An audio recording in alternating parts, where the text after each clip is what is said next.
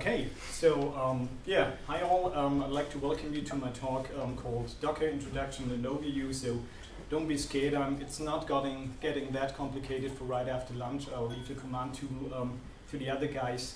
So let's start by introducing myself. My name is Holger Gantikow. I yeah once studied computer science at Furtwangen University, graduated back in 2009, and I'm now working as a senior systems engineer for uh, for an IT service company and there work for a team providing IT services um, for customers, computer-aided engineering site for German automotive engineers, um, which includes operating their heterogeneous um, environment and on-site HPC installation with roughly 500 plus nodes, at least this part of the customer, and it is used for various um, CAE-related applications. So also I'm a frequent attendant and uh, speaker at IT and especially Linux and open source conferences like CeBIT and Linux and I recently took a PhD program when doing research uh, on improving HPC in cloud um, related environments. So if anybody should be interested in um, service level management as a service, accountability for clouds, um, you should check out um, the homepage of um, Hochschule Furtwangen. It's called Wolke HS Furtwangen they're doing research there on these topics and my work goes there too somehow. So the company I work for is Science and Computing AG in Tübingen and um, yeah, our main focus is IT services and software for technical, computation and scientific environments, so more or less everything that has to do with complex distributed environments like yeah, operating these environments, IT, uh, IT administration tools, queuing system, everything that goes into compute clusters, data manage, visualization, virtualization, IT security. And we were founded in 1989. Have offices in um, Tübingen, Munich, Berlin, Düsseldorf, and Ingolstadt, and are around 320 employees, and, uh, yeah, and now belong to the Atos Group. So um, I think I'm gonna skip this. If anybody uh, should be interested in yeah, new job opportunities, we've got several offerings, so feel free to check out the job site.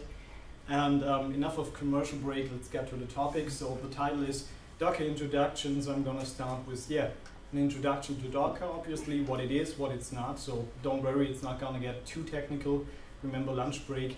And um, then I'm going to continue with why HPC matters with focus on scientific computing community.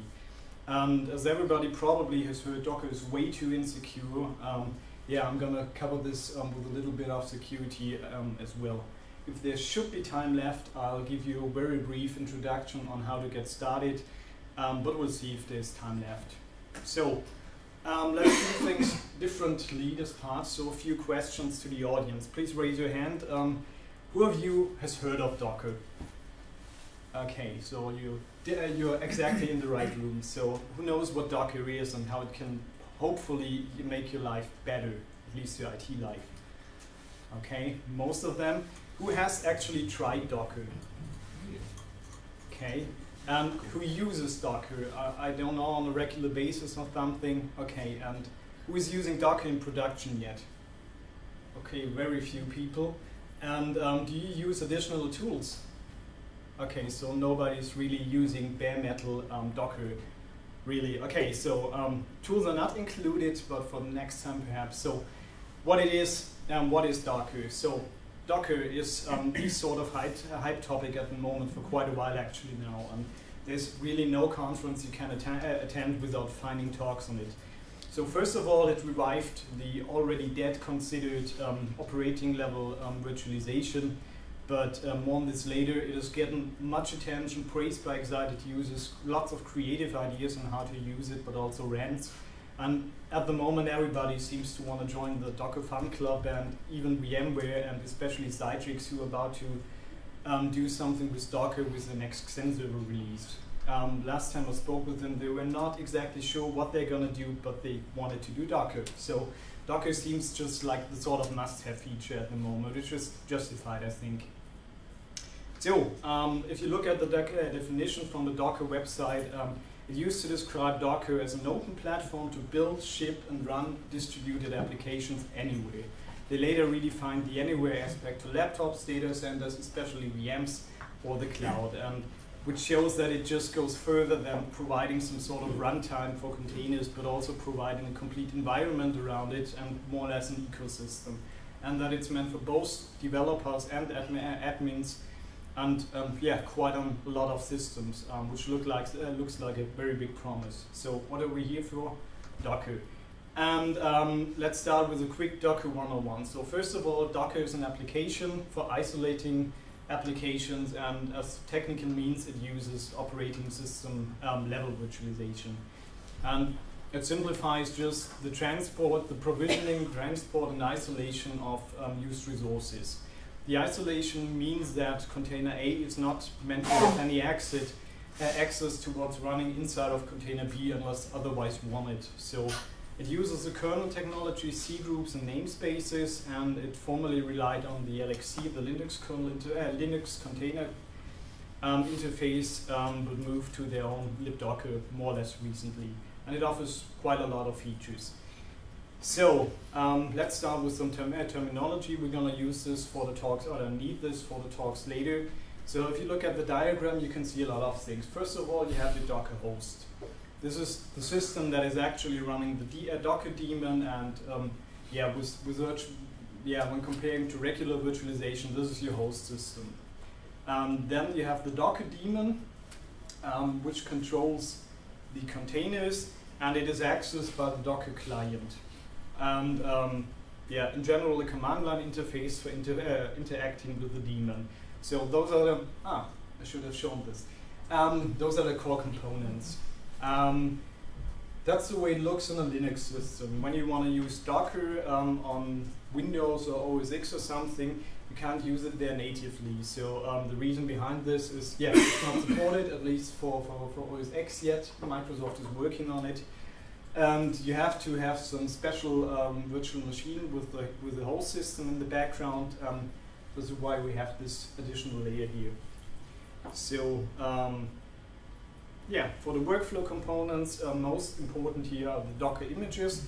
These are the entities containing the application you want to ship and all the required uh, environmental company, uh, components like libraries, for example. So the Docker container is a running instance created from one of these images. And it's the entity you start or stop, um, for example. Then you have the Docker registry, um, which is more or less some sort of app stores for, for Docker images. Um, you can have these um, public, by example, um, accessing Docker Hub or um, private registries as well. yeah, then we, I, I think he's going to cover later uh, Docker files. Those are the definitions required to automate an image build. So um, I'll give you a, hopefully give you a brief um, overview on the getting started section. So what can Docker do for you? Save lives, perhaps. Um, in general, people now talk about how great Docker is for shipping code and makes it just less, less error prone, how it can end fights between developers um, writing applications and shipping them to operations for deploying them, and um, afterwards it doesn't work. And um, yeah, everybody says, but it worked on my machine. Yeah, but it's not. So um, where I come from, things are quite a bit different. I don't have to deal with developers, God bless, I have to deal with customers. Um, but at the end of the day, um, we also, yeah, we all need a, a, good, we have a good need for isolation dependencies and the results are more or less the same. So um, what's the problem? So this is a classic setup without Docker. I have a web server, it's just a fictive example. Um, I have a solver and they share this, this libc. If I don't know, um, for, for any reasons I have to update um, the web server, it might require a new libc version which, which might break the solver, for example. So risks can arise when either the application or the operating system um, is either updated or well outdated. So for example, new applications might not, yeah? yeah I mean, maybe Solver, is everyone familiar with Solver? It's just could be any program, right? So yeah, I mean, probably. It was more or less from an HPC background, yeah. so it's yeah. Um, this could be any generic application. We run into this um, on, a, on, a, more or less daily basis. So um, the main problem is, for example, um, new applications might not run on your outdated or yeah conservative operating system, or outdated applications might not run on a current OS. For example, we had to keep a historic SUSE 64 installation for, for years because it was the newest version for special required code um, that was able to run only on this machine. And this code was necessary for um, customer uh, having the possibility to uh, do, do some recalculations of stuff. So this code was just yeah, legacy, but he, yeah, he insisted to keep the machine alive. So um, besides the legacy requirements, even in everyday use, there's also a certain risk for breaking applications when updating the operating system, even with enterprise distributions. And this is just bad for critical applications. For example, um, when updating, um, yeah, you have to install security updates. Uh, happened recently, and it just broke um, one of the um, CAE applications of one engineer. The guy was sitting around and said, "Why the heck did you update my machine?" And um, yeah, security policy. It's not our idea. We have to. And um, it was just work. Uh, it was he was just sitting there and couldn't work because it broke his it, it, broke his machine. So we had to reinstall the machine back to the old level um, skip the security updates for his machine and get him running again. So, and sometimes also it happens that uh, trying a new tool, um, for example, out of curiosity can result in the need for updating an operating system. Docker changes this. Um, don't get confused by these stages in case I give a handout and um, summarize what I said. So in a containerized setup, we have this. We have container A, um, container 1 um, containing the web server and container B uh, 2 containing solver A. So um, with Docker what we have here is all in one entity. So both applications um, and all the required um, dependencies um, are isolated. So updating libc in container has absolutely no impact whatsoever on um, libc here. So, and we have a portable entity. all you need to run a container is the Docker runtime here. So um, this means you can move this container to whatever machine you want, your laptop, your workstation, your cluster, even your cloud or your bare metal HPC provider or something. So um, one not so typical example with this legacy hell. Um, don't get scared. Um, actually, it's quite simple, and um, I, I choose this picture because it contains all the fancy buzzwords we learned, like Dockerfile, um, and so on. Um, the point is, we had to containerize a historic FlexLM uh, license server. So um, it's just an example for legacy dependency from hell. So don't get scared by the complexity. Uh, it's, it's, just, in fact, it's really simple.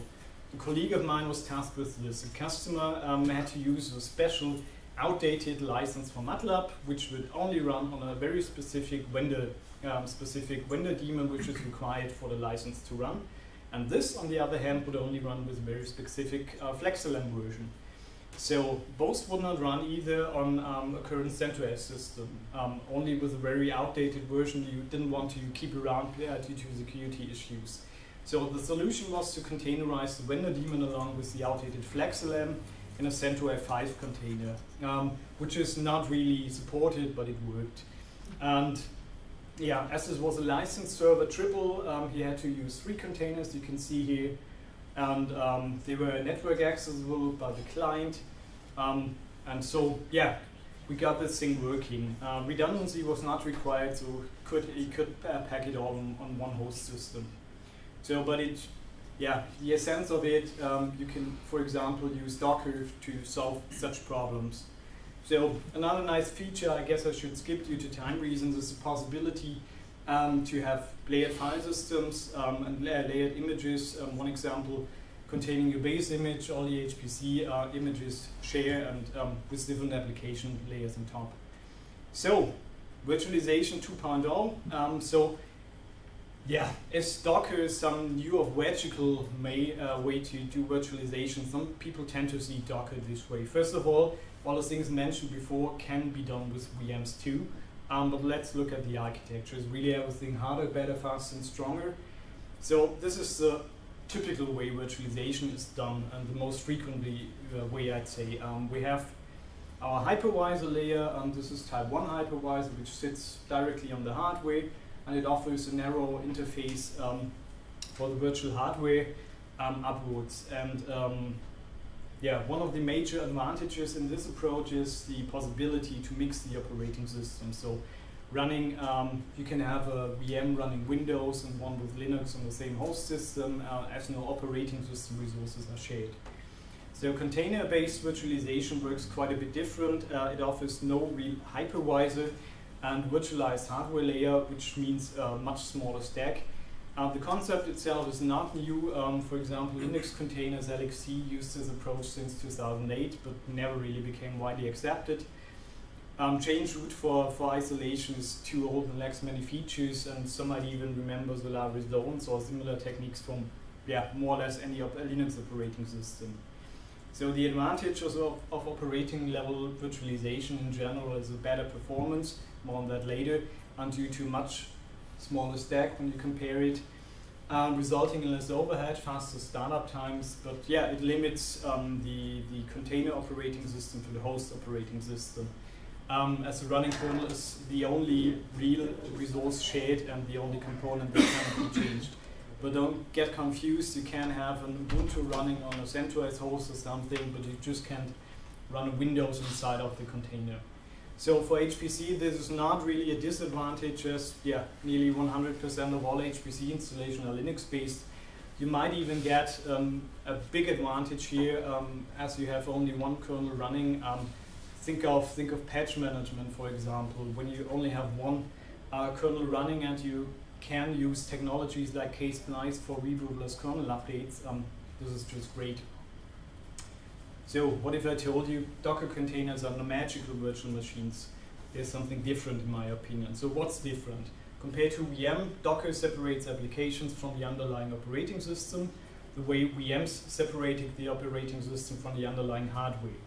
Um, but when you want to ship an application, um, the OS is somehow part of this requirement. When you think of think of an appliance or something you want to ship to a customer, so you have a pretty, pretty yeah, pretty large um, requirement. So using Docker turns this fat requirement for VMs in a rather lightweight one.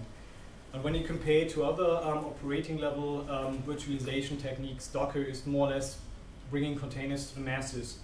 So by giving them just the tools and workflows around container and that's making it easy for everyone to use and the whole ecosystem that goes with it. For example, think of Docker Hub, um, which is often um, compared to GitHub uh, for Docker images, where you can go on and take one image, base your work on it, and create something completely new, completely different.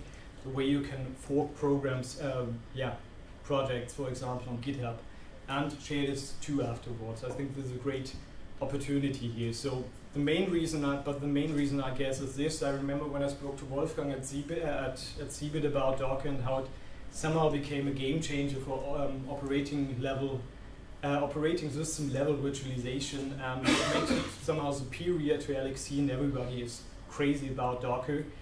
And um, he just said, well, we tried that, it was just too complicated. So I, I guess this is more or less the main reason why Docker is yeah, they're popular. It's, it's just usable compared to other solutions. So, in my opinion, what does Docker matter, especially for computing? As this is an ISC event, I don't think I have to go into high performance computing, that it goes by many names that we used to do it on proprietary systems, now running on clusters for a decade, I guess. And um, some are even doing this on clouds um, nowadays, while others are still stuck with the workstation neatly tucked away under the desk.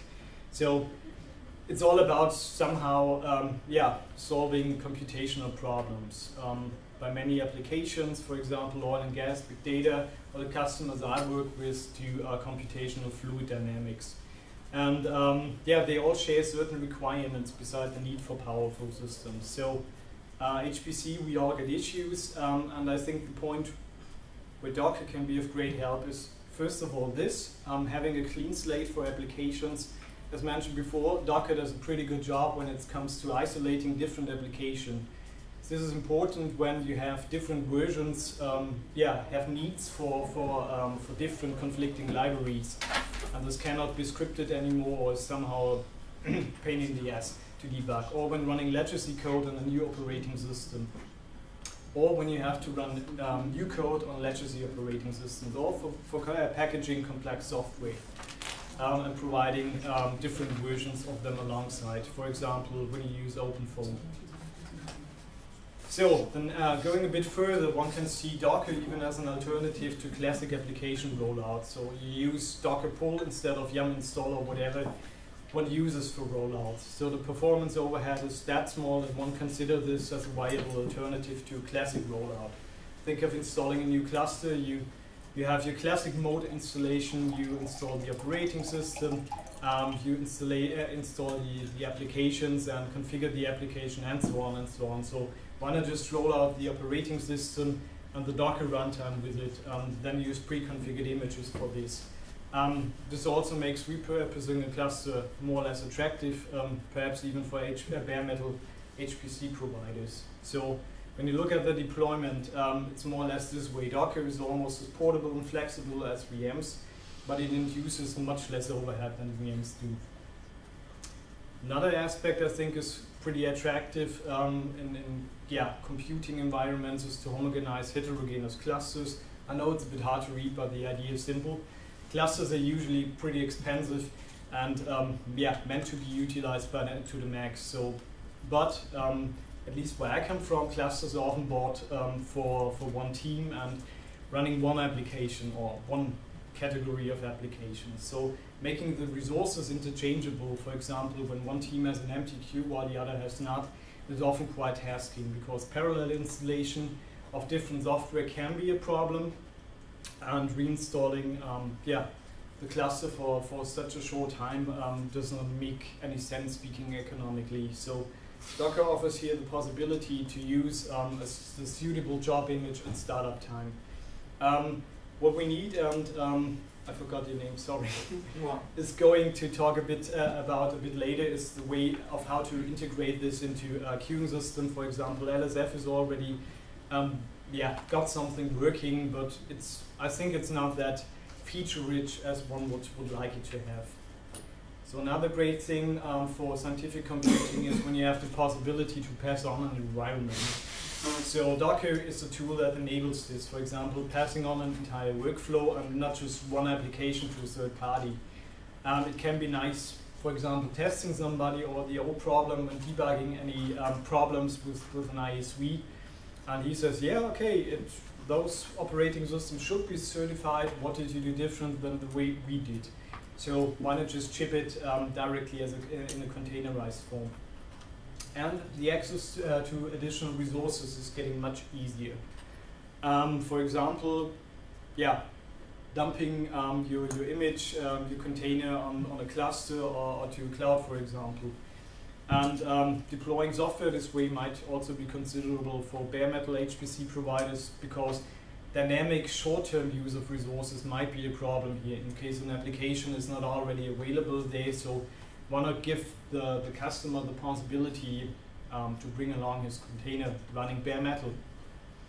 Well, why not use classical virtualization? Uh, I already talked about a bit um, on this, but um, I think besides the workflow aspects I already mentioned, I think the important aspect um, is performance. Performance is superior in just many use cases. Um, Docker offers almost yeah, bare metal performance. VMs have got, uh, gotten better much over time, I know, um, but this is already true for the startup time. So think, think of the time a VM um, that perhaps just does one thing, one job uh, for computation or something takes about a minute uh, to start up. This might not be a problem if you've got a compute job which would be running, I don't know, three days or something.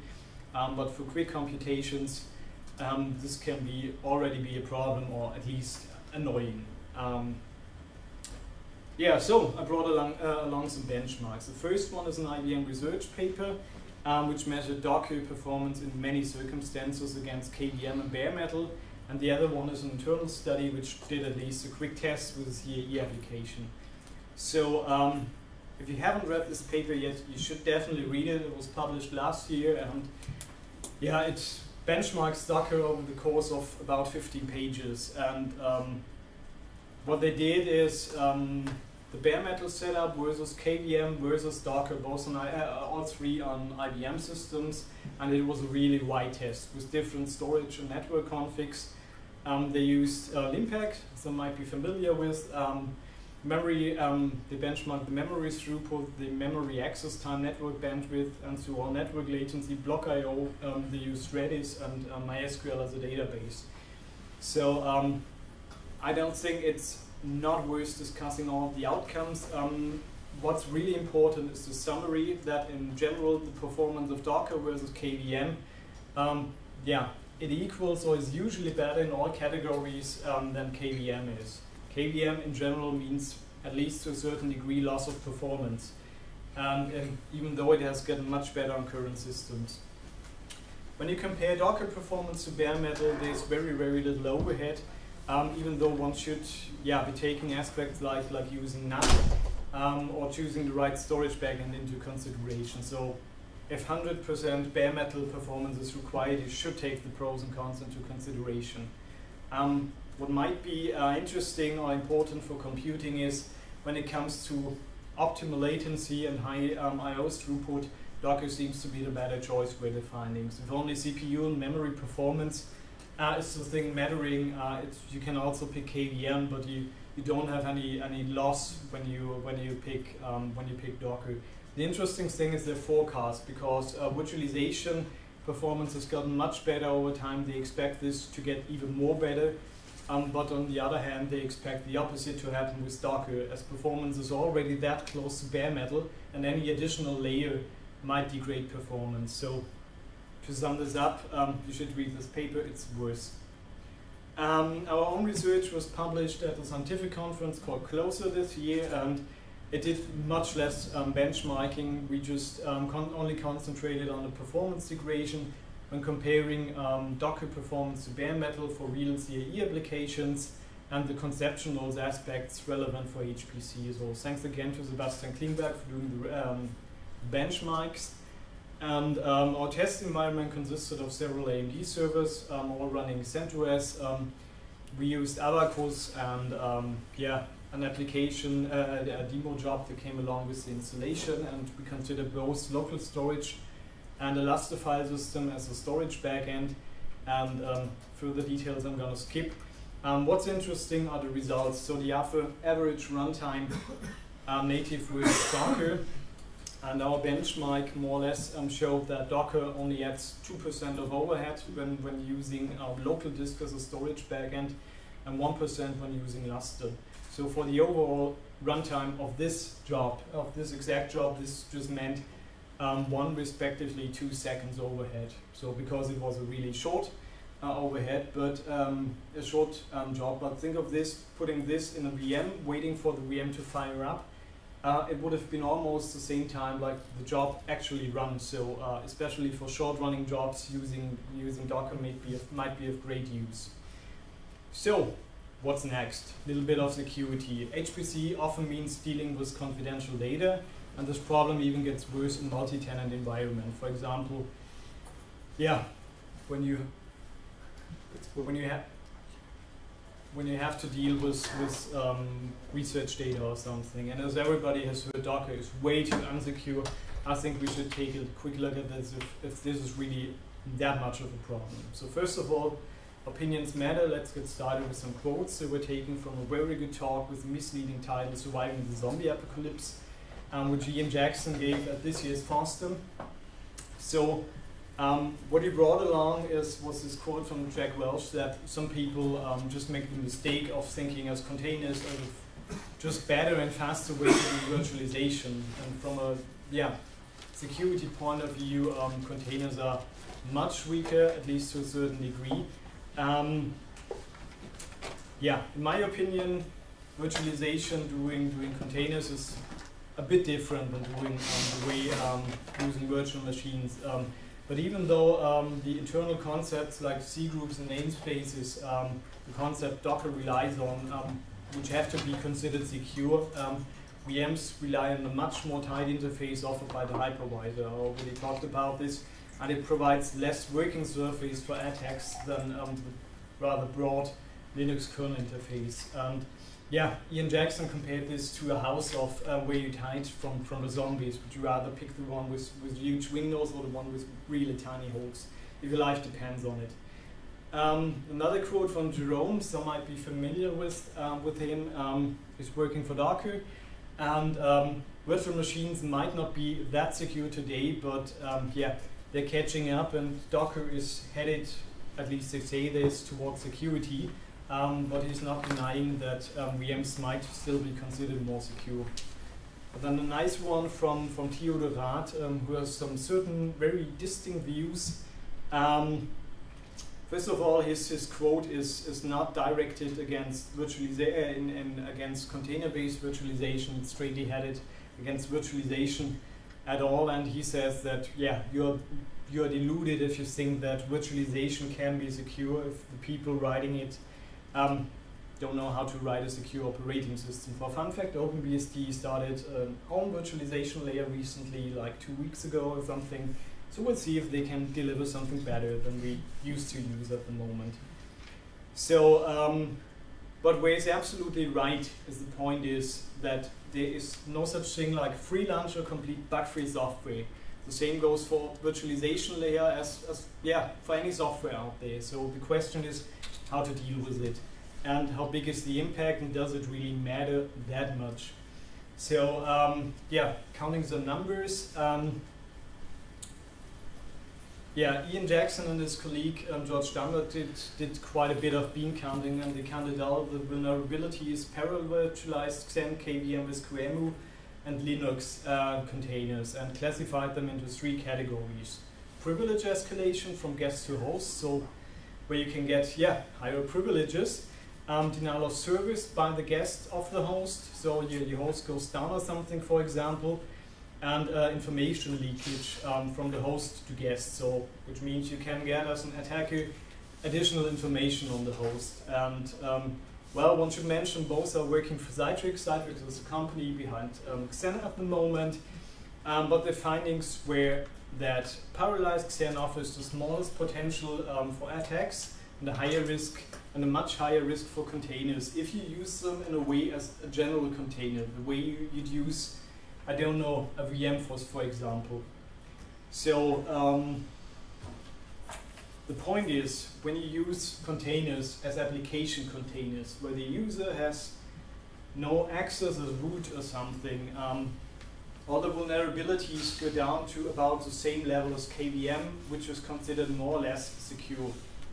Um, so I don't, if you have the possibility to not use um, containers as a one-to-one -one replacement for virtual machines, it's pretty okay to use them. So um, I think in my opinion, when skipping all the possible bugs in CVEs, it shows that in general, the most level of frustration and yeah problems arises from users or certain misunderstandings. Um, and moving a bit away in an opposite direction to the desktop, um, people just do wonderful things with Docker, but sometimes just overshoot the target. So this is a pretty good example by the lovely Jess Frazelle, who just gives real fun talks on Dockers. And she promoted uh, um, Docker as a uh, sandbox for desktop applications. Um, her ideas are interesting without question, but an actual sandbox um, with really strict isolation is somehow different. First of all, she shows how to run MUD and similar applications uh, inside a container and realizes that data like configuration has to be passed into the container. For example, Skype requires access to audio and webcam or something. She has many examples, including Docker files and Docker run commands. So if you want to use, uh, learn something about using Docker on a desktop, check this out, but don't do something like this. Um, she says she was really mind blown when then when she found out that she could partition her local hard disk um, by passing the appropriate um, device into the container. You see it's dev SDA, which means it's a local hard disk, and she passes this in into her container and then can run gparted. So um, partition her hard disk inside the container. Um, the possibility is nice and probably legit for, for some use cases, but I was mind blown of the idea to do so. So um, don't do everything you, you just can do. Um, the point is, um, the article, uh, article started uh, quite a bit of discussion. Um, most of them disadvised um, that she should, uh, should uh, use containers um, for desktop applications with access to the X server, um, and it might open a risk for keyloggers or something. Another nice thing is, it is, uh, it's a bad idea to do something like this. Wait, I get it a bit bigger. Um, yeah, if you have access to the, to the Docker command line, you can do such a fun thing.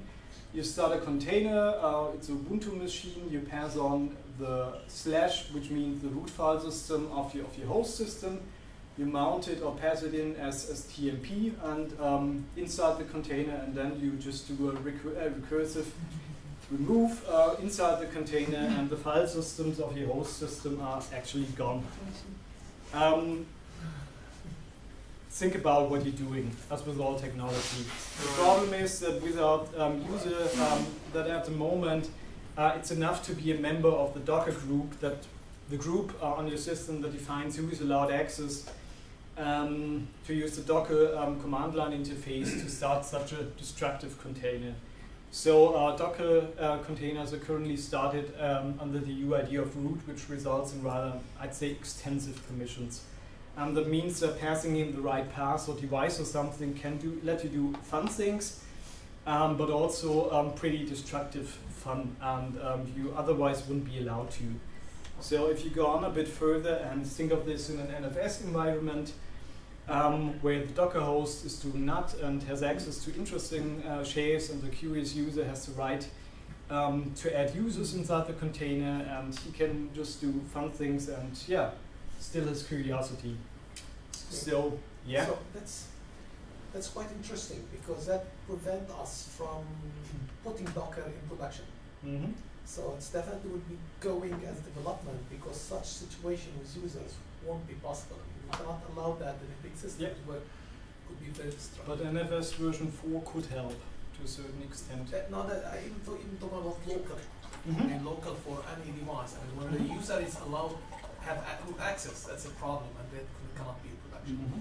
So what's the plan for? Uh, I know there are some workarounds going on, like my Docker and other stuff will be coming out. I'm going to talk about this Okay. exactly now. Okay. So uh, I didn't want to freak you out by any means. Um, I think the most uh, issues can be dealt with by some sort of organizational means. Um, this might mean when things get a bit more secure, it, they get a little, yeah, a little bit less easy and a little bit less fun. But yeah, that's a general problem with security.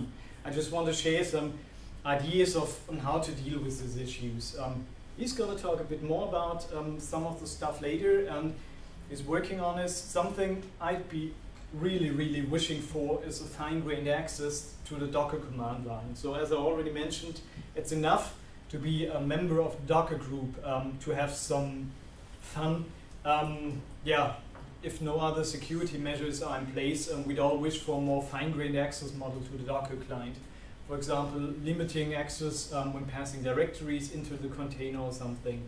Um, this is something he's talking about a bit later. Yeah? But I mean, uh, there's, there's batteries are included, but removal, right? So you can pass all the Docker commands through a proxy kind of program, which filters out and defines, okay, this user is not You allowed can, to do it's run minus Not v. the so- way it's done by default. yeah, sure, but I mean, there, there are ways to secure it, but it's Yeah. it's That's what I'm talking about. yeah, just just say. Um, furthermore, we expect some improvements um, for SE Linux uh, from SE Linux. The point is, we just wish to have something like this out of the box and being more def- secure by default. Um, you can do a lot of great things and solving lots of problems, but yeah, they just take effort and um, just makes things harder. Um, so, um, from a complete paperwork uh, level of things at our company, joining the Docker group uh, means that you have to fill out the exact form for, for um, use to getting root access um, to your own machine. So also on the wish list is the possibility to start containers with lower uh, permissions as implemented uh, with LXC, I think. Um, one of the possible solutions besides the proxies he's going to talk uh, about later is yeah, to use some form of more or less ugly wrapper scripts. Um, um, for example, by limiting actions that might result in bad things, to, um, by something like sudo scripts with hard-coded calls to the Docker command line, or yeah, stripping stuff away. Um, on a more self-service oriented level, um, some sort of self-service portals with limited access, uh, with limited access to well-defined containers or pass option can help, I think. Um, this is in general considered to be wise in a multi-tenant environment with a higher level of untrusted users and increased chance of yeah, attacks or something. Okay, so use something around um, the straight access to the Docker command line. Um, as I already mentioned with, with, um, with the hints to the Ian Jackson talk is um, use of application containers instead of system containers wherever possible. So um, yeah, further risk can- can be reduced um, reduced by the already discussed um, application containers by providing containers for special use cases, for example, compute jobs. In my opinion, there's just no real reason a user should be granted something like a root shell for computation. This is something you wouldn't do with containers, you wouldn't do with VMs, you wouldn't do with bare metal systems. So a containerized compute job is, in my opinion, the perfect example for for an application container. It just does one thing, and that is, yeah, turn input data into output data, and then cease to exist. So um, the main problem is when containers are considered as sort of one-to-one replacement for, for VMs, and the user is granted interactive access to. Um, this just increases risks of all things, as with all systems. So rule of thumb, one process uh, process per container. Um, when you want to move Docker to production, a good thing you can do is um, use your own registry instead of Docker Hub or something. This completely, yeah, eliminates the uh, the question: Can I trust this image? Is this image provider um, secure or whatsoever? Um, yeah, when you when you use your own registry. The, the another thing is um, for at least for HPC, you can find tons of to- uh, tons of images there, but for HPC, it's rather narrow what you what you can find there. And um, the same goes for Docker files. Um, yeah, as goes for any code snippet from the internet. Read them, understand them, and only use if you understand what they're doing. So as I've got some minutes left, I'll just give you a brief overview to yeah get you started with Docker. I'm just gonna walk you through a few installation steps. Yeah, Maybe, maybe if there are questions, maybe we halt here before you turn into the getting no started. problem. So, any questions so far? Okay, I'm just gonna show you, give you a very brief introduction, show you how to start your first container, what you have to keep in mind on Windows and Mac OS. So the idea is you can just go out, install Docker if you haven't done before, and um, start with a simple Docker file or something. So installation is pretty simple. On Linux, it's just a matter of apt-get install Docker, yum install Docker, or use the script provided from the Docker homepage. Windows, it's more or less the same as for macOS. You've got a fancy graphical installer, which uh, is the Docker toolbox. The former, formerly used um, boot to Docker is now deprecated, and the Docker toolbox is the way to go. You use the installer. Um, it says what's included. For example, the Docker client binary, Kitematic, which is a fancy desktop GUI for Docker. Uh, I never really used. And some other stuff, um, yeah, we just can skip. After the installation, you can pick your, your the tool you want to use. I think if you want to try some tutorials, uh, tutorials, I'd I'd prefer if you if you use the command line interface because yeah, clicking in a GUI is not that nice. So um, when you when you click on uh, when you start the GUI, uh, the quatsch, um, the command line after an eternity of 30 to 60 seconds, which are required to start the VM, as um, Docker does not run natively on, on Mac or Windows or something, you should be presented with this, Moby Dock, and the Hooray command line prompt. So um, yeah, remember, just remember that Docker does not run native, and you yeah need this um, special Linux VM, um, and it's included in the installer. So um, I quickly checked what OS I'm in, and then first an initial Docker run. I want an Ubuntu, and I wanted to have access to bin bash. And when pulling an image for the first time, this from the registry, this might take some time. And hooray, I got down there and yeah, a uh, terminal inside a Linux container. And remember, you have to pass a command, something like sleep, uh, sleep 30 of bin bash will also work, but yeah, it results in a container living for roughly 30 seconds. So as I mostly use CentOS, I did the same with the CentOS operating system. There you go, I have a Red Hat release or CentOS release. Um, that's the way uh, Kitematic looks, the graphical interface. It has a bit of a app store look and feel, including likes, which is quite fancy, haha. Um, but it works too. And I guess um, for most tutorials, you, you should uh, consider using the command line interface. Um, to show you that there's actually a VM running, um, I just grabbed um, for, for the VirtualBox processors and it shows here that there's a headless um, virtual machine running on my system. Um, for the benchmark, I talked about startup time. So what I did was just use, yeah, stop the time for, for, for Docker round of a Hello World container, which just echoes hello world out and you see it's, yeah, it is started, um, did his job and terminates after like half a second. So using this is really fast. Imagine a virtual machine, even with stripped down services and, and something, and doing this would be roughly, I guess, in 30 seconds area. So um, that we've talked about Docker files um, and conclude this very little demonstration of how to get started with the basics. Um, we're going to create a very small Docker file, and it just consists of this. Um, yeah, it starts from an existing image. It's the Ubuntu image. I did not include any specific version or something. This is just really meant to be pretty basic. Um, and you can also see that images can depend on one another. Then I'm going to run the command apt-get install minus y nginx, which is needed for the web server um, to be installed. And afterwards, um, we're going to run a command that starts the web server in the foreground and we're going to expose port 80 um, HTTP so that we can access the web server from out of the container. So um, afterwards we have to build the image and wait for a moment until it's ready to use. This is the build command. Uh, docker build, um, my fancy label here, and um, the folder where it finds the Docker file. So there you go. Um, this is what happens when the image gets built. Uh, in case you're wondering what the using cache uh, means here, Docker will cache the results of the first build of a Docker file, so allowing um, subsequent builds to be faster than yeah, starting from scratch. And yeah, it was pretty fast in the end um, because I had to fiddle a bit um, with the nginx um, command to keep it running in the foreground. And it's really nice. So now what? Um, we want to access this, and um, we can and we use Docker PS to find out um, the ID of the container. This is required um, for terminating it afterwards.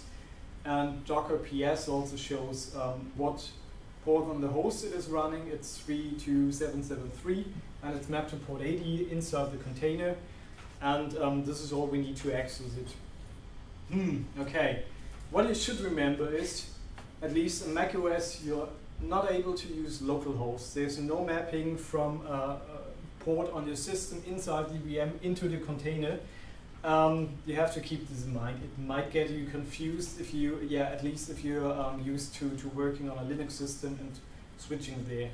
So what you have to do, um, the output from, from the command line interface shows that the uh, Docker is the Docker um, host system is running on this IP address, and um, when you do this, ta-da, there's your web server running.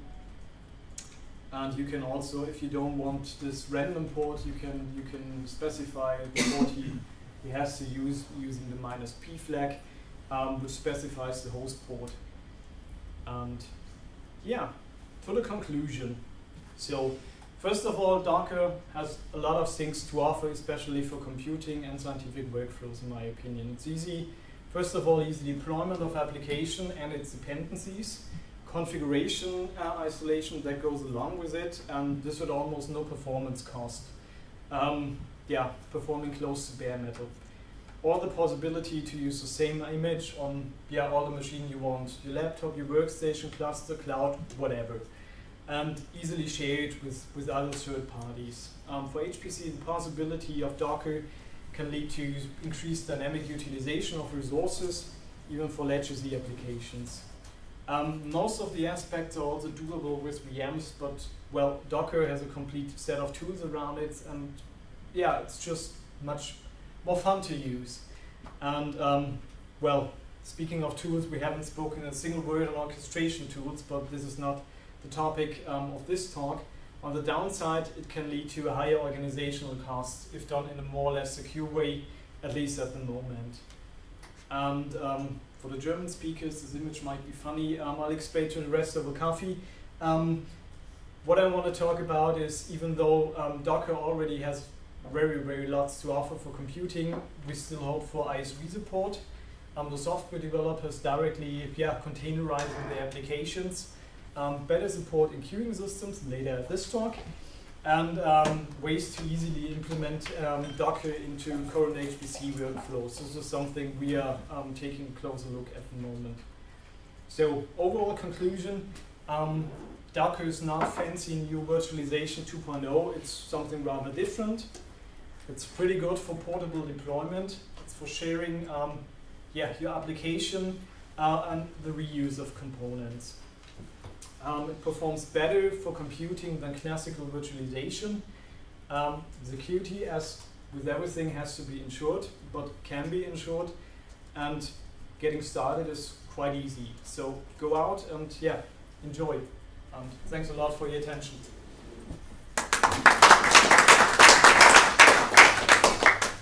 Okay, now some questions for Holger. Go ahead.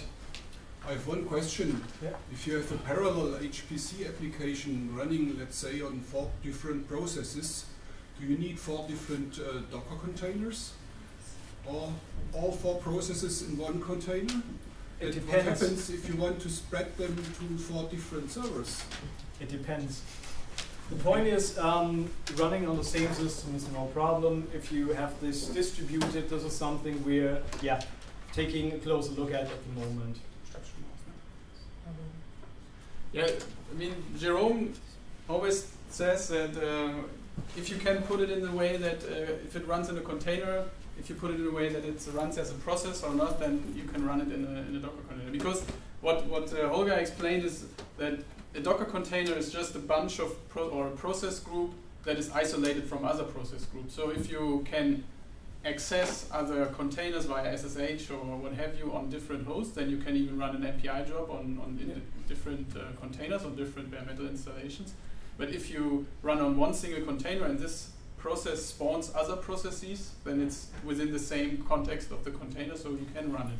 So if you if that answers your questions, right? If you want to spawn multiple processes within the container, then you can because it's if you spawn a process within a container, then it sticks inside of the same container. So it's, it's the same. And if you've got some sort of communication between the containers, you can also do distributed, but you can't. Well, I don't know, fork from one machine to the other or something. Yeah, you can, but you need a system that will take care of that. Hmm? You need you need a Yeah, yeah, yeah. you need a framework that will take care of that. If you have a framework that has integrated containers, then the framework can actually spread the containers. As long as the, the framework can talk with your underlying system, either it's an HPC or a cloud or it doesn't matter. As long as your framework knows how to talk with the with the computer and knows how to like deal with Dockers, like switch them on, switch them off, send them, it w- it can do it, but you need a framework. So this framework is below uh, MPI, Uh, no, this framework should be above MPI. above MPI, Yeah. but uh, is it something like managing the containers and I will- calling them? Yeah, Yeah, I will show. I will show because we have done something like that. I will show exactly. It's, so it's a high level parallelization because you want to parallelize the data, right? well, I have a parallel HPC application I, with, I will based on show. MPI. Yeah, I will show. I'll show. How can I Yeah, we can- we containerize it? Maybe we can we can yeah, if Maria will I cover will- it, then we will cover it that way, or you can we can talk over coffee. I, I have also done some MPI. So be- be- before we move, um, what about stability of Docker? So we, the first phase of testing it, we have seen a lot of kernel crashing, and then we moved Really? to kernel three, three point one, and that's where we have now gained a little bit more stability. I'm wondering at this level, I mean, do you have any minimum requirements to have um, a better stability environment? So I, I was using 6.6 Red Hat or scientific or whatever, and where we had continued crashing of, of Docker. And I- keep- With with 7.0 7.0 is working quite well. You Okay. don't have any problem at all. It's, it's because of the kernel. In fact, when you Yeah, install exactly. Docker, th- th- it's telling you that you need uh, a kernel version greater than I don't remember now. yeah, six six is two thirty two or two six thirty two. Some backports Yeah, included. know. so But I had to I had to use CentOS. Okay, so it's a kernel only kernel shop. That's yeah, it. Okay, that's all. that's fine. Yes. Yeah. because Docker uses the sys uh, the sys call, so it's it's not Docker is not involved in, in this kind of stuff. So. Some more questions? Oh, hopefully we'll have time at the end, but maybe we don't. So So over Yeah. coffee, I'm gonna stick Yeah. around here for a if it's minutes. specific over coffee, if it's generic, then maybe uh, we will find some time. Okay, so thanks Holger. That was very very nice, very very neat. Um,